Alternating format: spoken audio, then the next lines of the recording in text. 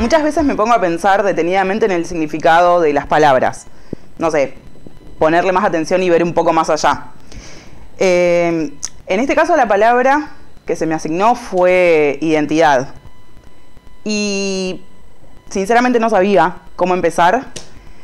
Eh, hasta que escuché una entrevista, una, eh, una entrevista a Estela de Carlotto.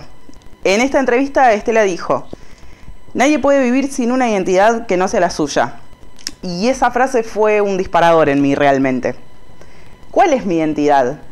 O mejor dicho, ¿tengo una identidad? La respuesta que se me vino enseguida en mi cabeza fue, no, no tengo identidad. Y después dije, para, tengo un nombre, sé mi pasado, sé de dónde vengo, entonces quizás sí tenga una identidad. Vamos a ver un poco más allá. Después de pensar más en profundidad y cambié. Sí, claro que tengo identidad.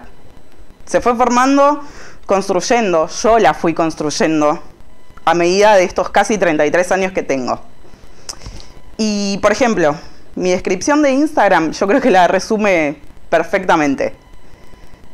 Tengo cuatro puntos en mi bio. El primero dice, soy rockera. Y es lo primero porque el rock en muchas de sus variantes me acompaña desde que tengo memoria. El rock me hizo fuerte y sentimental a la vez. El segundo punto dice que soy canalla.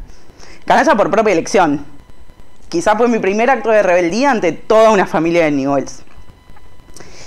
El tercero es soy feminista, porque la violencia contra las mujeres me tocó de cerca y me hizo ver la desigualdad en su máximo esplendor. Y después sigue mi costado más sentimental, por llamarlo de alguna forma. Dice, soy tía de tres, de tres increíbles seres. Me considero muy buena tía porque soy la tía que siempre quise tener. Lo último, que es lo que agregué recientemente, dice, soy futura periodista, es nuevo o quizás algo viejo, pero que recién ahora sale y cada vez es más fuerte.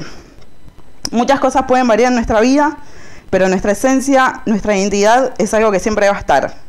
Puede mutar, puede cambiar, pero siempre va a estar latente y creo que es todo cuestión un poco de mirar un poco hacia adentro.